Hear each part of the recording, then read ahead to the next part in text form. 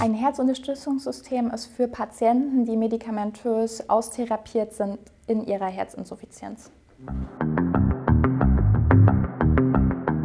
Es gibt drei Therapiesäulen für ein Herzunterstützungssystem. Das wäre zum einen die Überbrückung zur Transplantation, zum anderen wäre das vorübergehend, bis sich die Herzfunktion erholt hat und die letzte Therapiesäule ist ähm, die Therapie bis zum Lebensende.